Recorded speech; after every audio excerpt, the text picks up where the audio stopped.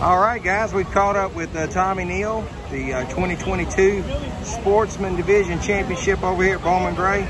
Just walk us through that that race, man. It was a pretty pretty hefty race there for, for, for a while, I think. Yeah, it was a little bit wild here and there, but uh, through it all, we just try to be consistent, try to run each lap the same and not miss my marks and uh, take what the track gives us. And, you know, the cone come out, I took the cone every time. Like I said, you know, we just went to go try to win the race. And then uh, we came up a little bit short on winning the race. Was um, my nephew, uh, grandson, he won the race.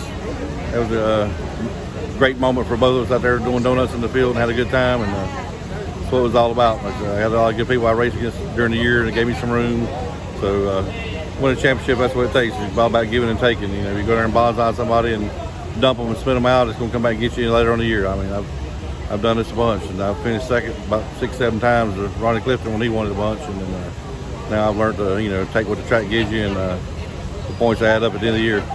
All right, you got any sponsors you want to thank out oh, there? yeah, Jerry Hunt Super Center, uh, Gossett Landscape and Nursery, uh, Walkertown Mill, CNC Lock and Key, Brad's Golf Carts, Prince Realty, Big Daddy's Trailer Sales.